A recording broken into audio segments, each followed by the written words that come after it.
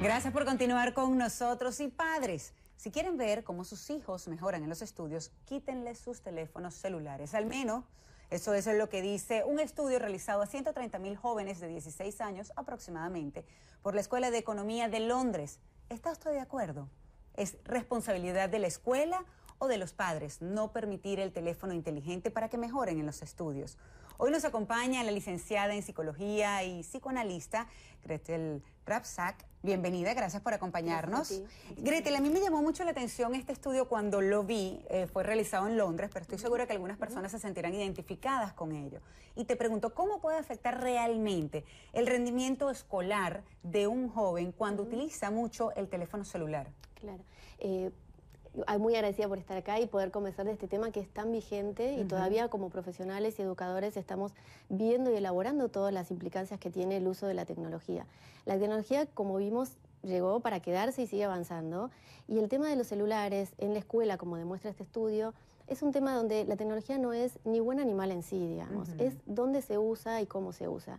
Eh, por lo que dice este estudio, evidentemente produce un efecto no tan positivo en el hecho de que los niños puedan distraerse, eh, interesarse por un chat, eh, con alguna conducta disruptiva. Y evidentemente en, este caso, lo que me interesó mucho de la nota era que decía no solo el tema, el tema de yo no diría de prohibir, sino de limitar el uso. Me parece que el tema de niños y adolescentes y límites, y en ese caso tal vez el tema de limitar el uso del celular en la escuela, es algo que nos tenemos que preguntar. ¿Es realmente necesario? Claro, porque hay que ver, hay muchas escuelas que hoy en día utilizan, por ejemplo, lo que es la tableta para lo que son las clases, para buscar información, inclusive el celular. Muchos lo hacen con cualquier información, enseguida van y, lo dicen. Aquí, por lo menos en Estados Unidos, es muy común el Google It.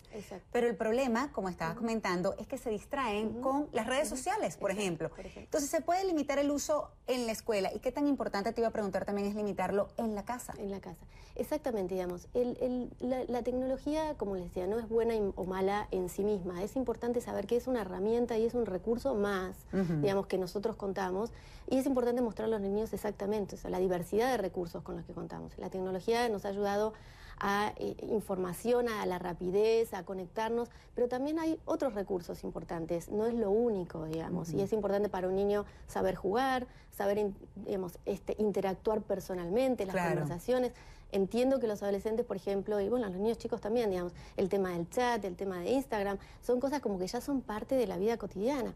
Pero bueno, no es lo único, claro. eso es importante. Gretel, te voy a comentar algo que además es muy personal y me permito compartirlo con todos ustedes también. Mi hijo salió hace, tiene 12 años, tiene un teléfono y salió hace poco mal, iba saliendo mal pues en ciertas materias. Y yo, yo decidí como medida, como castigo, quitarle el teléfono. Y déjenme decirles que mi hijo volvió. ¿Qué quiero decir con esto? que ahora se monta en el carro cuando lo voy a buscar a la escuela y conversa conmigo. Estamos comiendo y hablamos. Hay otros temas, no solamente el teléfono.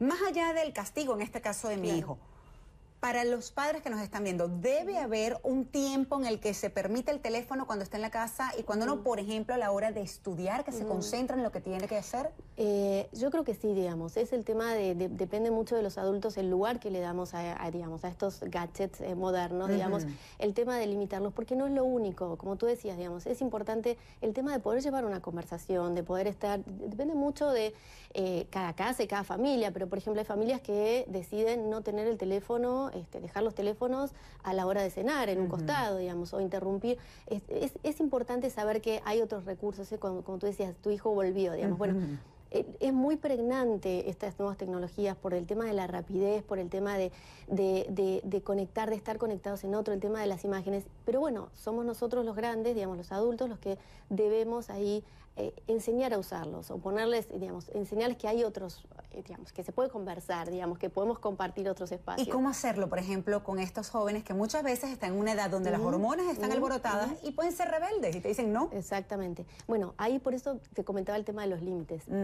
Entra dentro de las nuevas cosas que nosotros tenemos que, eh, bueno, ver cómo ponemos límites a esas situaciones, digamos, ¿sí?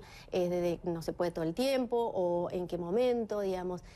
pero bueno, así como se ha digamos, la tecnología ha entrado en la vida cotidiana, es un elemento más, digamos, que uno necesita regular en la vida de los niños. Gretel, ahí una maestra que, si no me equivoco, fue a finales del año pasado, se hizo muy famosa en Estados Unidos porque ella planteó eh, la, como una materia o algo que debe incluirse y es justamente enseñarle a los jóvenes, a los niños y a los jóvenes, el uso de los teléfonos inteligentes y sobre todo de las redes sociales. ¿Tú estás de acuerdo con eso? Eh, digamos, me, parece que es una propuesta, me parece que hay, hay veces que hay adultos más, digamos, este, bueno, para nosotros también, digamos, el tema de la tecnología está como tan inserto que, bueno, uno por lo menos como adulto es necesario que uno les enseñe el tema de cómo usar las redes. Muchas veces los niños son demasiado pequeños para llegar a entender, por ejemplo, subir una foto, hasta dónde llega una foto. Las consecuencias. Las consecuencias, exactamente. Así es. Bueno, Gretel, muchísimas gracias por acompañarnos. Muchísimas gracias a ti. Y definitivamente no es fácil, pero hay que poner límites. Yo sé que cuesta y como madre lo sé, estoy segura que ustedes también.